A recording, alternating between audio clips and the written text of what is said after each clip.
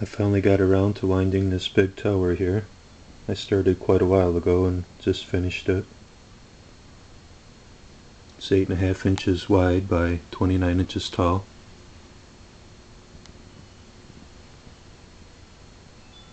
Just dimly lighting them 39 LEDs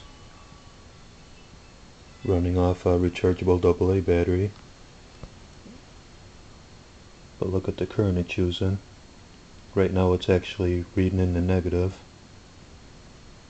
I think my meter needs to be calibrated a little better. So I don't see how that can be. But if I put my hand closer to the tower, get the lights to come on a little brighter.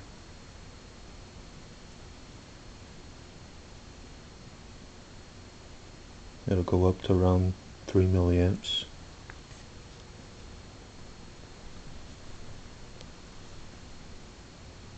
Right there it's still reading in the negative.